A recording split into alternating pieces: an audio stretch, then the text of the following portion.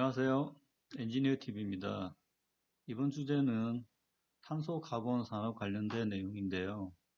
이 내용은 향후 흑연 그래핀 배터리 응급제 탄소 섬유를 이해하는 데 기초가 되는 내용이어서 제가 설명드리고자 합니다. 먼저 탄소에 관련돼서 알아보시면 원소 주기율표에서 14족 2주기 원소입니다.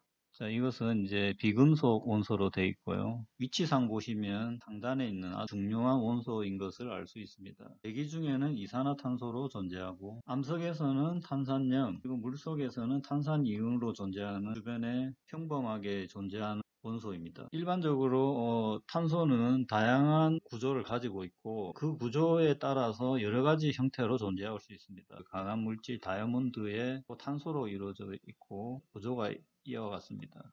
그 다음에 이제 흑연, graphite, 구체로 되어 있는 C60, C70 그리고 graphite를 이렇게 둥글게 만든 카본 나노튜브 구조가 있고요. 흑연 graphite는 일반적으로 이런 상태로 존재하고요. 원소 구조로 보시면 육각형 구조가 층층을 이루고 있습니다. 한 층을 띄어낸 것이 그래핀, 이 그래핀이 둥그렇게 되어 있는 구조가 나노튜브 이렇게 이해하시면 됩니다. graphite 흑연 광산은 평평한 지대에 흑연이 이렇게 평지에 드러나 파기만 하면 되는 형태로도 존재하고 있고요. 보시면 이 크레인 삽 자체가 사람 하나 이 정도 크기의 포크를 이용할 정도로 대량의 큰 광산에서 쉽게 파내는 원소 물질입니다. 탄은 광산에서 캐서 공장을 통해서 분류 작업을 거치고 차적으로 carbon fiber 그 다음에 그래핀으로 사용되고 그 다음에 철강에서 사용되는 전극봉을 만드는 것 그 다음에 카본 블랙으로 만들어서 타이어라든지 아스팔트까지 응용되는 그리고 일반적으로 그 연료 이렇게 응용되는 많은 정도로 사용되는 것을 알 수 있습니다.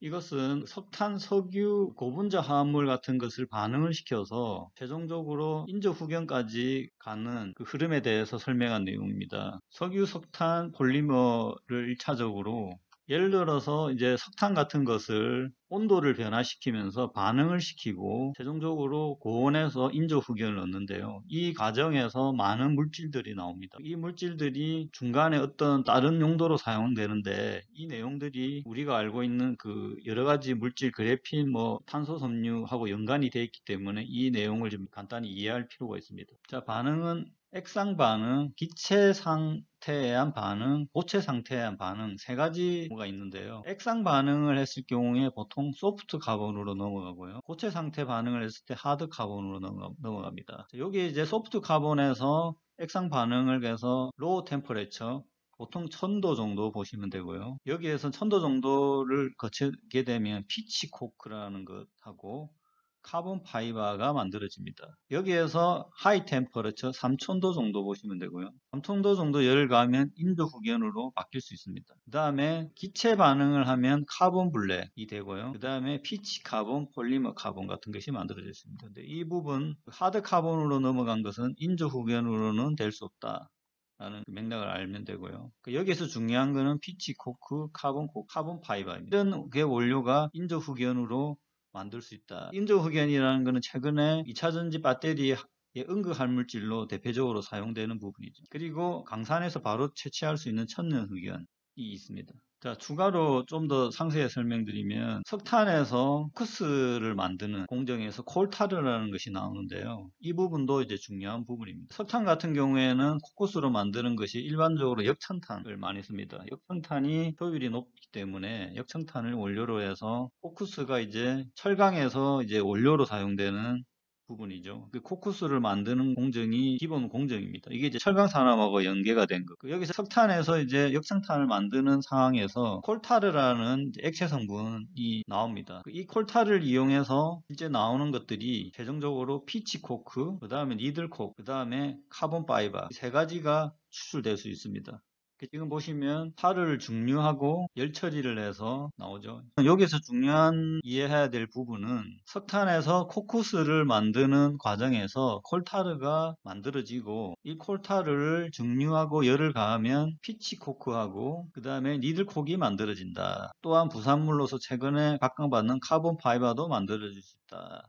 라는 겁니다. 이, 이 부분은 이제 간단히 이해하시면 될 것 같고요. 자, 다시 석탄을 가지고 응용되는 부분에 대한 용어를 정리드리면 코크스라는 것은 제철용, 주물용, 카바이드 연료 제조용 등에 사용된다. 그러니까 코크스 상태로 만들면 열효율이 높은 상태로 만들 수 있다는 것을 알 수 있습니다. 그래서 철강을 녹이기 위한 열을 내는 연료로 이용된다라고 이해하시면 될 것 같습니다. 석탄을 가지고 코크스를 만들 때 부산물로 석탄의 가스가 나오는데요. 이것이 우리가 사용하는 도시가스용으로 사용된다는 겁니다. 그 다음에 석탄에서 코크스를 하기 전에 중간에 나오는 콜타르 같은 경우에는 경유도 나오고 벤젠, 톨루엔, 나프탈렌 등의 화학 제품의 원료가 되고요. 도시가스라는 것은 석탄가스하고 천연가스 등을 합성해서 도시가스를 만든다는 겁니다. 지금 북한에서 많이 생산된다고 하는 무연탄이라는 것은 저희들이 알고 있는 과거에 많이 쓴 연탄을 이제 이해하시면 될 것 같고요. 이제 가정용으로 크게 연기가 발생하지 않는 용도로 많이 쓰입니다. 추가로 이제 석탄가스를 이용한 도시가스가 나왔기 때문에 가스에 대해서 간단히 이해해 보시면 에카 천연가스를 LNG라고 하고요. 에카 석유가스를 LPG라고 한다는 것. 그리고 그 석탄가스를 이용한 것이 도시용 가스 이렇게 이해하시면 될 것 같습니다. 석탄이 가스로도 사용된다는 것. 석탄에 대해서도 이제 간단히 이해를 해보시면 석탄의 종류는 이제 중요한 게 무연탄. 그 무연탄이라는 것은 일반 가정용에 사용이 많이 되고요. 그 다음에 그 다음 단계 역천탄, 제철 코크 수용하고 도시가스용 이렇게 사용된다. 아역천탄은 일반용 가스 발생, 그 다음 갈탄은 일반용 이렇게 사용되고요. 여기서 이제 제일 중요한 것은 무연탄은 우리가 아는 연탄이라고 보시면 되고 역천탄은 철강 쪽 코쿠스 정도의 도시가스용으로 많이 사용된다. 경제적으로는 역창탄이 많이 사용된다라고 이해하시면 됩니다. 그리고 우리나라 탄소 산업에 대해서 이해를 하기 위해서는 일본의 탄소 개발 역사를 이해할 필요가 있습니다. 일본이 지금까지도 그 철강 강국의 탄소 관련된 소재에 가장 발달되는 나라입니다. 이게 왜 그렇게 됐느냐? 이거에 이제 그 간단한 이제 모티브를 취해 본다면 소위 말하는 일본 제국 시대에 해군력이 가장 중요했고 그 해군력의 핵심이 바로 무연탄 수급에 대한 것이었다는 겁니다. 그래서 이제 1986년에 일본 내에 이제 석탄 자원에 대해서 전국적인 조사를 했고 일본에서 발견된 석탄은 저질 역천탄으로 전소시 막대한 검은 연기가 발생했다는 겁니다. 이는 이제 해군한테는 문제가 되는 상황이라서 이제 연기에서 적에게 발견되기 쉽다는 것, 그 다음에 열 효율도 낮아서 이제 함대 동력에 방해가 되는 상황이었습니다. 그 현대에는 이런 역전탄의 문제 때문에 코쿠스 형태로 만들어 쓰고 있는데요. 1990년대에는 일본에서 이 코쿠스 기술이 없었습니다. 일본이 이제 청일 전쟁하고 러일 전쟁에서는 영국에서 카디프 무연탄을 수입해서 이 부분을 해결했고요. 하지만 이제 그 당시에는 일본과 영국이 영국 사이가 문제가 없어서 석탄 수급이 원활했지만 그 당시 그 국제 관계에서는 언제 이 부분이 이제 문제가 될 수 있기 때문에 일본은 이제 향후 전쟁 운영을 위해서는 석탄 수급이 중요하다는 것을 알게 된 것입니다. 그래서 이제 상황 관련된 여러 가지 사항들을 점검하기 시작했는데요. 그 당시에 조선에서 1985년도부터 양질의 무연탄이 생산되기 시작된 것입니다. 이 부분을 이제 일본도 알고 있었고요. 1985년 같은 경우에는 일본이 한국에 아직 큰 영향을 미치는 시절이 아니었기 때문에 당시에 이제 조선 같은 경우에는 프랑스 자본을 활용하여 이제 평양에 석탄을 개발할 상황이었습니다. 그래서 일본 해군도 이제 86년부터 이제 평양 그 단전을 눈독을 들이고 있었고요. 미국 같은 경우에도 1929년에 연료 사용을 이제 하기 위해서 기웃거리는 상황이었습니다. 그래서 이제 1904년까지 일본 해군은 조선에 무연탄을 사용하지 못했는데요. 그 이후로 일본과 조선이 합방될 때까지 14년 이후부터는 이 무연탄을 개발을 시작하면서 일본 해군의 그 무연탄 부분에 대한 수급을 해결하게 된 것입니다. 결론적으로 말씀드리면 일본은 1980년대부터 그 양질의 석탄 자원의 중요성을 알게 됐다는 겁니다. 그래서 이제 그 이후에 이제 결국 코쿠스 개발도 성공하고 지금까지도 소재 강국으로 군림하고 있다는 것입니다. 일본 같은 경우는 1980년대부터 제국주의 시대의 전쟁을 통해서 석탄 자원의 중요성을 알게 된 것이고 지속적으로 개발했고 지금까지도 소재 산업 발달과 지금 이어지게 된 것입니다. 그 소재 산업 그 개발에 우리가 알고 있는 미쯔비시라는 재벌이 연관이 돼 있고요. 그 각종 그 석탄하고 오일 관련돼 있는 그 응용 산업의 미쯔비시 케미칼이 미- 일본의 중심에 있습니다. 그리고 이제 우리가 아는 탄소 쪽에 그 미쯔비시 케미칼하고 그다음에 이제 철강 관련해서 카본 관련 산업으로는 도카이 카본이라는 회사가 있죠. 미쯔비시 케미칼에 대해서 보시면 미쯔비시 케미칼 같은 경우 다양한 석유화학 제품을 만들고 있습니다. 산업용 화학 제품, 아크릴, 이티릴, 그다음에 고분자 수지 고성능 화학, 탄소 섬유, 필름 및 시트, 그 다음에 탄소 재료, 그 다음에 배터리 디스플레이 재료, 알루미나 섬유, 아크릴 섬유, 그 다음에 물처리 정수 관련 식물 성장 시스템, IT까지. 그 1차적으로 일본에서는 미쯔비시 케미칼이라는 회사가 응용 제품에 대한 기본적인 R&D 개발을 주도적으로 하는 업체라고 보시면 돼요. 그 소위 말하는 일본 제국주의 시대 때 군수 물자를 대부분을 만드는 회사가 미쯔비시 중공업으로 알려져 있고 미쯔비시 재벌이 이제 이 케미칼하고도 연계가 돼 있습니다. 지금까지 이어져 오고 있고요. 다음 은 도카이 카본에 대해서 보시면 이 도카이 카본이라에서 만드는 그 중요한 부품이라는 것이 흑연 전극입니다. 이것은 보시면 알겠지만 이렇게 철강에서 사용되는 것이고요. 자 여기서 보시면 제강 공정에서 철 스크랩은 전기로에서 재활용된다. 전극 흑연은 이러한 종류의 용광로에서 필수한 구성 요소이다.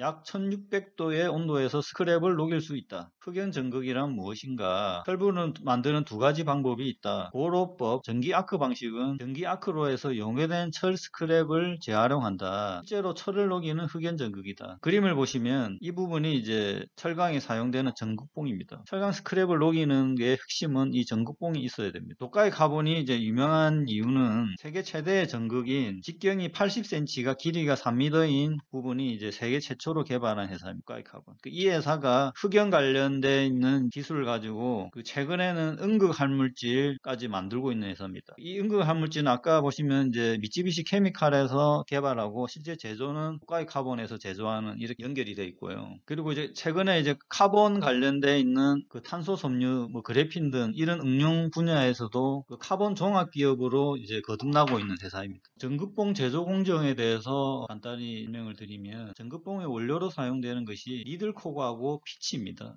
그 아까 역청탄에서 코쿠스로 가기 전에 나오는 콜타르에서 니들콕이 나온다라는 걸 설명드렸죠. 그 니들콕이 결국 이제 전극봉을 만드는 원료다. 전극봉을 만들기 위해서는 니들콕이 필요하다. 이렇게 구성이 되는 겁니다. 순차적으로. 석탄이 어떤 제품으로 응용이 되고 어떤 제품으로 응용된다는 이 개념이 1차적으로 중요합니다.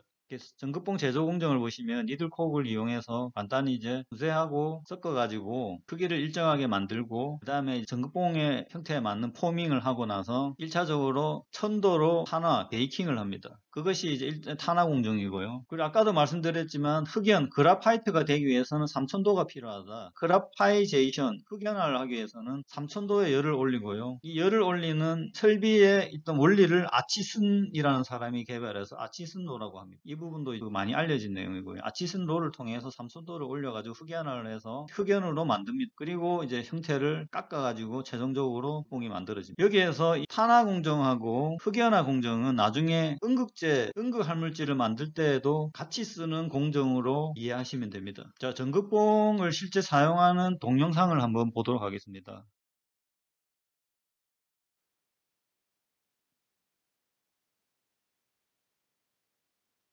자, 용광로에 스크랩을 넣고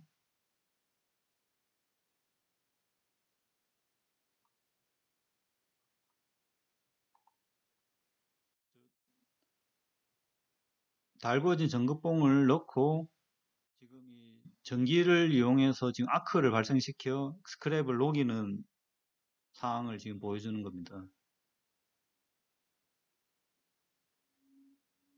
실제 그림을 보시면 지금 전극봉이 들어가고 있죠. 요 로 안에 용광로 안에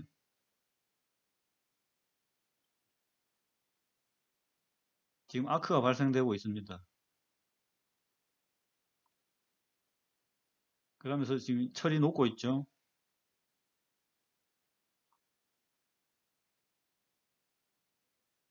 전극봉이 빠져나오고 있습니다. 안에 이제 그 철은 다 녹아 그 액체 상태로 변했을, 변했을 겁니다. 이런 철강 산업에서 전극봉의 역할은 상당히 중요한 부품으로 이해하시면 되겠습니다. 한국의 탄소 관련 산업을 이해하기 위해서는 한국의 철강 산업을 이해를 해야 되고요. 한국의 철강 산업의 대표적인 게 포스코. 포스코 같은 경우에는 일본의 기술 자본이 들어왔다는 것을 이해를 해야 됩니다. 그래서 이제 포스코와 신일본 제철과의 관계를 보시면 포스코는 이제 1968년에 설립이 됐고요. 한일 기본 조약과 더불어 일본으로부터 자본을 도입하고 야하타 제철, 후지 제철, 일본 3사의 기술을 도입하여 설립된 것이다. 이 두 회사는 1970년대에 신일본 제철로 되었습니다. 그 다음에 기사를 보시면 이제 2009년도에 보시면 포스코와 신일본 제철은 포스코가 신일본 제철의 지분 3.5%를 보유하고 있고 신일보 제철은 포스코 지분의 5.04%를 보유하고 있다는 겁니다. 그리고 최근 16년도의 기사를 보면 그 당시에 5% 이상 지분을 보유하면 보고를 해야 되는데 이게 16년부터 5% 미만으로 떨어져서 보고 의무가 사라졌다는 것입니다. 하지만 지분을 팔았다는 내용이 없기 때문에 4에서 5% 사이에 포스코 지분을 신일보 제철이 가지고 있다는 겁니다.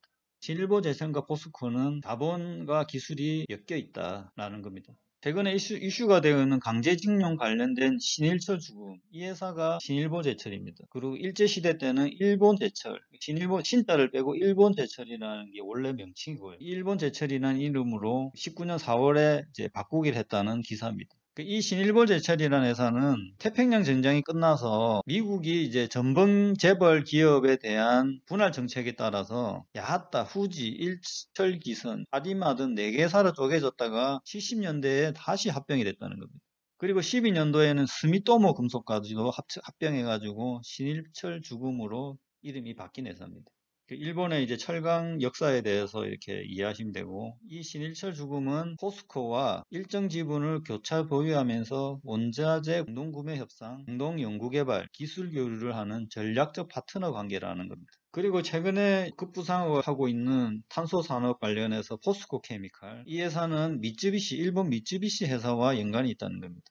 제가 아까 설명드렸지만 미쯔비시라는 것은 석유 석탄 응용 과학 분야에 일본에서 연구 개발을 주도하는 회사입니다. 이 포스코 케미칼이라는 것은 이름이 포스코 켐텍이라는 이름으로 있었는데요. 이 최근에 이제 포스코 케미칼로 바뀌었죠. 이 포스코 켐텍이 이제 13년도에 일본 미쯔비시와 합작으로 PMC텍이라는 공장을 이제 만들어서 그 침상 코크스 생산을 했다는 내용입니다. 이 침상 코크스는 그 당시에 이제 일본 미쯔비시하고 미국의 코노코 필립스 등 3개국의 6개사만 제조하는 첨단 제품이다. 일종 아무나 만들 수 있는 제품이 아니죠.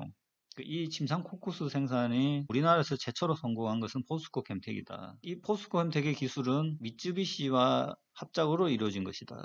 자본도 합작이 됐죠. PMC텍에서. 이 PMC텍의 이제 주요 산업을 한번 보시면 콜타르를 이용해서 타르 증류에서 나프탈렌유, 추출을 해서 흡수유, coking을 해서 크레오소트유, 그 다음에 이제 하소를 통해서 침상 코크스, 아까 본 이제 제일 중요한 거죠. 그 다음에 피치 코크스. 침상 코크스는 전극봉 음극재, 피치 코크스는 흑연, 이렇게 사용하고요. 다시 한번 보시면 침상 코크스 같은 경우에는 흑연 전극봉 아까 보셨죠? 흑연 전극봉 이렇게 이제 용광로에 사용되는 거. 그 다음에 2차전지 전극재 그래핀 아까 보시면 그 미쯔비시 케미칼하고 도카이 카본의 관계 라고 보시면 됩니다. 포스코가 포스코 케미칼 PMC텍에서 이렇게 탄소 관련돼 있는 수직 계열화를 지금 만든 겁니다. 피치 코크스 같은 경우에는 반도체 태양광 관련 그 다음에 알루미늄 제련할 때 이용합니다. 그리고 이제 유분, 그 기체 반응을 통해서 카본 블랙이 만들어진다고 그랬죠. 카본 블랙은 이제 타이어에 사용되는 중요한 제품. 카본 블랙은 배터리에도 일부 들어가는 소재입니다. 자, 제가 이번에 탄소 관련 사업을 설명드린 이유가 흑연 관련해서 이제 배터리 음극재, 음극 활물질에 대해서 설명을 드리고자 설명을 드리는 내용입니다.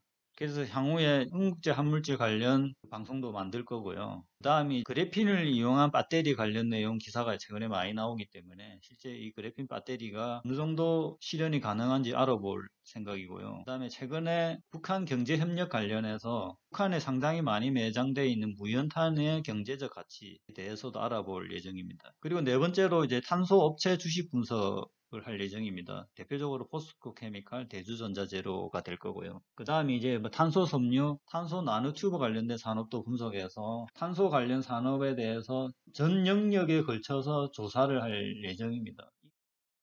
향후에 이제 탄소 섬유, 탄소 나노튜브 같은 그 첨단 소재 산업을 이해하기 위해서는 석탄에서 코크스로 이어지는 이 철강 전극봉 관련 산업을 이해해야 향후의 미래의 이제 첨단 탄소 카본 산업을 이해할 수 있기 때문에 이 방송을 만들게 되었습니다. 오늘 방송 내용이 만족되셨다면 구독을 눌러주시면 감사하겠고요. 향후에 진행될 배터리 음극 활물질 관련 방송도 보- 봐주시면 감사하겠습니다. 오늘 방송은 이것으로 마치겠습니다. 감사합니다.